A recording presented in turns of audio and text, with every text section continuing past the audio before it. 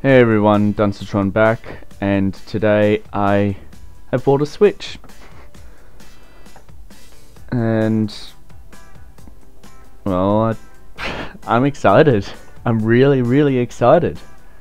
I mean, hell, I have a Switch finally. So, without dropping the box, I'll try and open this one-handed and see what's inside. So on the right is the actual Switch console, which is mint. So just a brief look at that. 15 volt input. I need to see if it does accept 5 volts for charging. And these are the Joy-Con. Yeah. Kinda hard to tell how they feel through the plastic. But we'll see how they go. Haven't had controllers like that before. And underneath the rest, yeah, nothing there. So we have an HDMI cable, obviously to connect the dock up to the TV. AC adapter, a must. Still can't believe the new 3DS. You have to buy the adapter. Um, these are the, uh, what's gonna call it?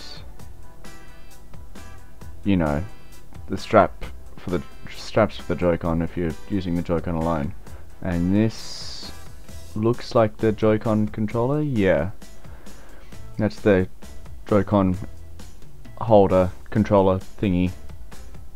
Not sure what exactly it's called. And we have warranty information. Fuck that and well, that must be the dock because there's nothing else in this box I think.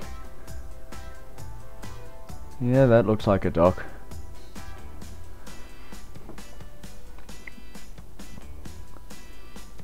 just double check that there is nothing left in this box. Yep chuck that away. So this is so that's what we get in the box. We have switch the Joy-Con straps, HDMI cable, AC adapter, and the dock. Now, let's closer look at the switch out of the plastic. Looks pretty neat. It's like a small tablet or a very large phone. And this must be the kickstand, if I can get it open. Come on. Got it.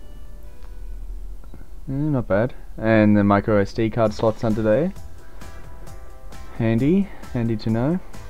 We have one USB type C slot there and that must be where the Joy-Con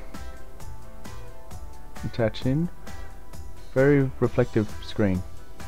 You might be able to catch my face if you look carefully enough. Yeah. And uh, let's try this one-handed. Let's go. Yeah. And come on. Yeah. So that's the switch with the Joy-Con attached. I just went grey. Because I'm boring like that. It's it's a reasonable size, nice size, I think. Like that's, yeah. So if I just go and put this in the dock, Uh, I've gone and set up just before. Two hands for this. Chuck it in. And there we have it. Next to my old Xbox. Which I have taken apart.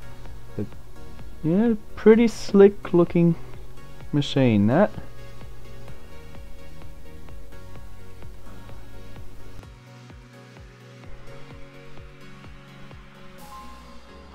So there you have it guys. I have a Switch and I'm playing Zelda Breath of the Wild. Holy fuck. I can't believe it. This is like a dream come true. And yeah, just wow. Anyway, I hope this video uh, was sort of informative maybe. and sort of helped you know what's inside the box for a Switch if you didn't know before. So yeah, hope you guys enjoyed this video. Be sure to give it a thumbs up if you did. If you didn't like it, give it a thumbs down. Share your comments and thoughts and suggestions down below. Check out my Twitter, follow that. I occasionally post a few things on there, as well as also notifications of when I'm going live on stream or if I'm if I've uploaded a new video. Check out my Facebook. I've started to try and set some automated updates up there and I'll try and remember to post to that as well as Twitter. Uh, subscribe to my YouTube channel if you like the stuff that I do. I'll be doing some more Zelda Breath of the Wild stuff in the future. I do also plan to kick off the next part of my Engine Wars. That's going to be starting in a few weeks probably. Also join my Discord.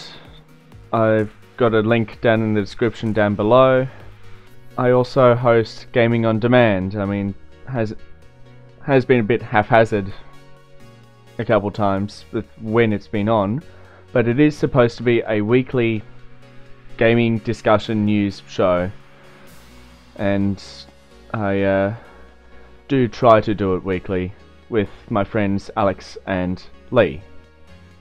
So those are happening every Thursday night, 9.30pm Australian Eastern Standard Time at the moment, and will be for the next six months. And that's it for today, guys. I will see you guys next time. Dunstatron out.